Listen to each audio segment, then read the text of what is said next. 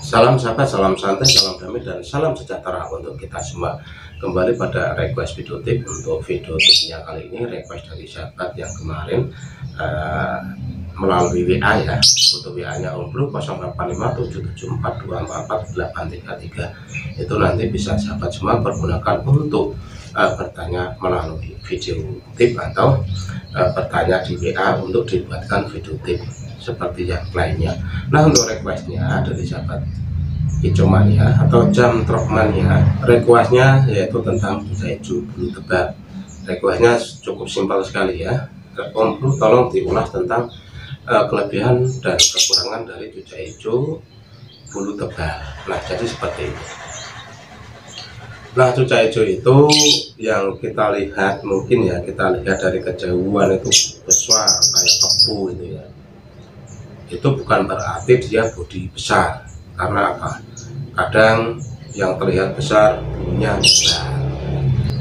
Terkadang pula ada yang apa itu bodinya besar bulunya tipis.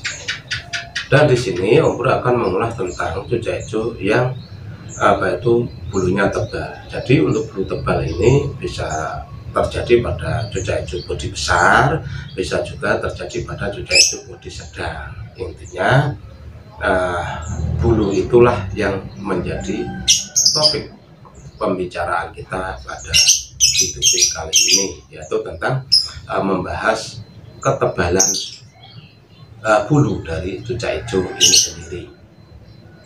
Nah saya tahu Om Bro apabila cuca hijau itu bodi besar kalau dia sudah ngunci untuk lomba dia stabil di kejuaraan. Biasanya loh ya itu. Terus yang kedua uh, cuca hijau yang bodi atau bulu tebal itu tadi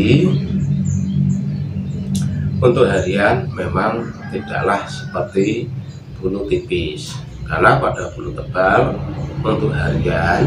Biasanya cuca hijau bulu tebal untuk harian itu cenderung lebih banyak waktunya untuk menyisir atau bersolek. Dan pada burung bodi besar untuk keistimewaan ya itu rata-rata mempunyai kualitas suara yang ngebas atau suara yang kantel atau tebal.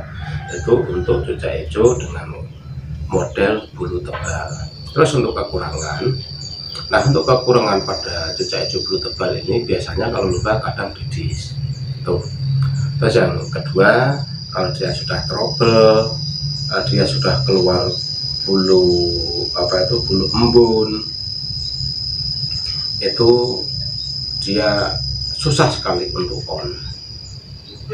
Bulu embun itu itu, adalah bulu yang seakan akan keluar ya seakan akan keluar dari tubuhnya itu menandakan burung cuca hijau yang bulu tebal itu sedang mengalami trouble. Dan itu membutuhkan waktu ya yang tidak uh, sedikit atau bisa membutuhkan uh, waktu berbulan-bulan untuk cuca hijau itu uh, bisa kembali normal gitu ya. Jadi mungkin kita sering kali melihat ya cuca hijau itu. Meskipun dia tidak tidur dia sedang berkicau tapi kadang ada bulu halus itu menyembul. Nah itu adalah bulu embun yang di mana uh, saat burung mengalami hal seperti itu uh, berarti burung itu sedang mengalami yang namanya trouble. Dan itu biasanya terjadi pada uh, burung cuca hijau dengan bulu tebal. Nah setelah kita mengetahui kelebihan dan kelemahan apa yang harus kita lakukan untuk segi rawatan pada burung cuca hijau bulu tebal. Dan di video tip ini spesial untuk sahabatku semua Om akan mengulas tentang cuca hijau bulu tebal. Intinya yang kita inginkan adalah saat kita lomba pada cuca hijau bulu tebal itu kita no problem atau kita tidak mengalami kendala atau bisa juara tanpa uh, terkendala dengan didis dan yang lainnya. Nah, di sini Om Bro sudah menyiapkan materi yang nantinya uh, bisa sahabat semua lakukan karena video Om Bro kan berupa video teori seperti ini ya, video ngoceh sendiri seperti ini. Karena memang Om Bro itu dari awal membuat video uh, dari awal mendirikan channel Om Bro Lover ini ya seperti ini ya berdiskusi uh, dengan cara Om Bro ditanya terus Om Bro menjawab melalui video tips seperti ini Nah, cara yang pertama agar cucak hijau bulu tebal itu tadi tidak mudah didis, kita harus sering mengumbar dan memberikan terapi mandi sepuasnya. Artinya seperti ini. Jadi burung kita masukkan ke umbaran, terus di umbaran itu kita sediakan bak yang besar untuk mandi cucak hijau itu sepuasnya. Jadi nanti apabila cucak hijau itu sudah mandi sepuasnya, uh, di bak umbaran itu nantinya akan membantu cucak hijau itu uh, mudah sekali uh, membuang ketumbi, membuang kutu-kutu yang menempel pada uh, bulu cucak hijau itu sendiri. Karena pada bulu tebal pada cucak hijau itu memang tempatnya kutu-kutu bersarang, itu ya. Terus yang selanjutnya uh, penjemuran. Nah, penjemuran ini wajib kita lakukan setiap hari. Karena apa? Pada burung cucak bulu tebal, dia mempunyai eh, apa itu kemampuan atau daya tahan berjemur sedikit lebih lama daripada cucak hijau yang bulu tipis.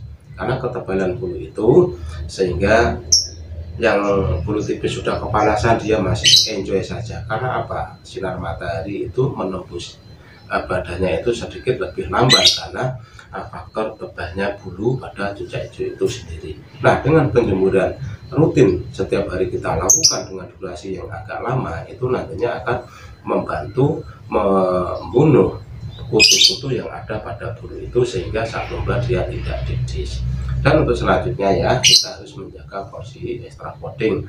Nah, pada extra voting itu kan ada jangkrik karena extra voting yang dominan itu kan jangkrik ya Nah, jadi untuk menghindari hal-hal yang tidak diinginkan seperti didis dan yang lainnya, uh, jangkrik itu khusus pada cucak hijau bodi besar silahkan sahabat semua menggunakan jangkrik sayur dan untuk melatih uh, nantinya tidak didis karena proto dan yang lainnya setiap hari sebelum cucak itu itu disetting untuk lomba semasa dia tidak siap untuk lomba atau cucak hijau itu kita siapkan untuk lomba untuk menghindari didis ya kita uh, seminggu dua sampai tiga kali membiasakan memberikan sedikit kroto untuk menu harian pada cucak hijau itu sendiri nantinya apabila kita teratur memberikan terapi rawatan yang stabil pada cucak hijau itu sendiri nantinya cucak hijau itu akan stabil. Karena seperti yang tadi Bung sampaikan pada cucak hijau bulu tebal itu mempunyai karakter yang stabil. Stabil itu artinya kalau lomba dia eh, apa itu relatif lebih lama lebih lama masa juaranya. Tapi kalau tadi sudah trouble ya kayak buru menyembul atau yang biasa disebut bulu embun itu tadi. Uh, terus banyaknya ketombe itu tadi yang mengakibatkan cucak hijau tidak fokus untuk berkicau tetapi berkicau sambil ridis dengan rawatan yang tadi Om sampaikan dengan metode penjemuran yang rutin setiap hari atau mungkin seminggu sekali ada sauna itu akan membantu eh, bulu-bulu uh, cucak hijau itu yang tadinya tebal itu terbebas dari kuman-kuman yang membuat cucak hijau itu mudah gerah atau mudah didih karena pada cuaca hijau bulu tebal kalau musim kemarau dia kan gerah ya. Jadi kita memberikan uh, mandi sepuasnya penjemuran yang cukup sehingga bulu-bulu itu terbebas dari yang namanya kuman dan yang lainnya. Sehingga nantinya saat lomba tidak mengalami kendala untuk yang lainnya apa Om ya sekiranya sudah itu adalah beberapa masukan dari Om yang bisa sahabat semua terapkan pada cucak hijau Anda sehingga nanti saat dilombakan dia akan uh, sukses tidak mengalami hal-hal yang tidak diinginkan. Untuk setting ya untuk setting silahkan disesuaikan dengan karakter burung itu sendiri serta pola ekor dari burung itu sendiri. Nah hanya itu informasi singkat dari Om Bro semoga infonya bermanfaat. Salam